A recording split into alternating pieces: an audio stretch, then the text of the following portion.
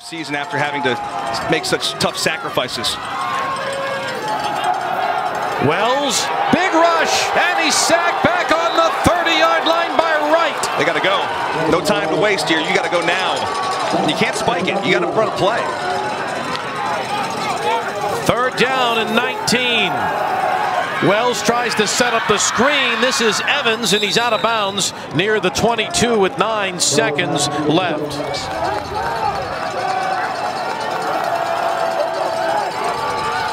You got to go to the end zone. Oh, Wells good. is brought down. Another tremendous play by Eric Black. And the Bulls will win it. And that's going to do it. What a great game. Well fought to the end.